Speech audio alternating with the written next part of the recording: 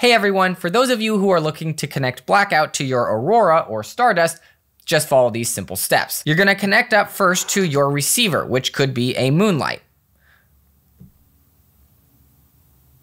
I'm going to make sure that it is in receive mode, and then I'm going to unlink this. This is now ready to be paired, and I'm going to put this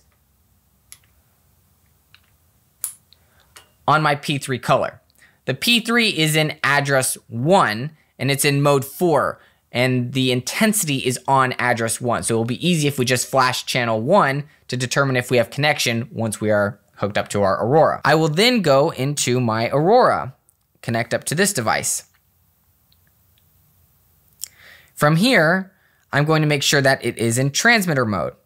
And I set my output power a little bit lower because I want better Wi-Fi performance. And from my experience with the Ratpac AKS, I imagine it's similar in all of these devices. The more CRMX power, the less Wi-Fi range that you have. So if you kind of even them out, you can get a little bit more Wi-Fi range if you don't need a ton of transmission power. I am then going to go into my Wi-Fi settings and make sure that this is set to access point. I set my SSID, which is the network name that I'm going to connect to from my iPad. Uh, my IP, I've set to 192.168.0.201, which is a gateway, right? It's my first gateway. And if you watch my best practices video, this is how I label my gateways. And then my net mask is 255, 255, 255, 0.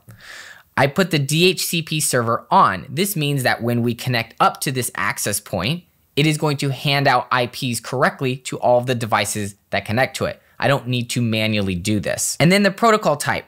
Right now, I am running iOS 16, but I'm running Blackout version 1. And in Blackout version 1, only ArtNet works right now due to a change in iOS. So if you set this to ArtNet, you're gonna be good to go. If you're running the beta Blackout version 2, you can set this to SACN. In ArtNet, I'm going to make sure that these are all zeros resulting in a universe one as zero, okay? That's very important. So we're gonna go ahead and save these Wi-Fi settings. And the last thing that we need to do is connect our transmitter to this Aurora. So I'm gonna go ahead and press link on the transmitter and you can see that this is flashing. And once this is solid, that it is going to mean it is connected. There you go. So it is now paired through CRMX to our Aurora. So now everything is set up on the Aurora. And now in the iPad, we're gonna go to Wi-Fi and connect up to our Aurora Wi-Fi network. Once we're there, we can go ahead and go to Blackout, make sure that our link status is in ArtNet and our offset is set to zero. You can use directed broadcast, you can use any of these, but directed broadcast will work fine.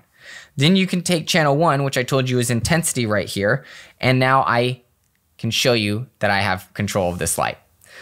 That is a very simple way to connect blackout to your Aurora via Wi-Fi.